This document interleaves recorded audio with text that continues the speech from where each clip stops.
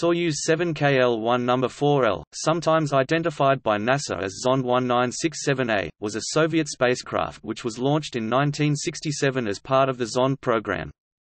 It was a 5,390 kg (11,880 pounds) Soyuz 7K-L1 spacecraft, the first of nine to be launched. Although it was intended to perform a circumlunar flyby of the Moon before returning to the Earth for landing, it failed to achieve Earth orbit.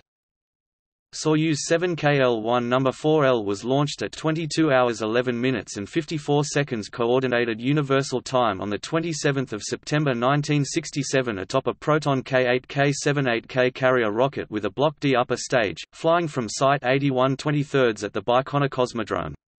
A rubber plug came loose and lodged in some plumbing at liftoff, causing one first-stage engine to shut off.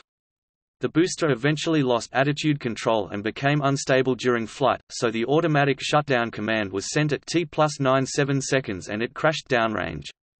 The spacecraft separated from the rocket by means of the SHASH launch escape system, and came down between 50 and 60 kilometers 31 and 37 miles downrange.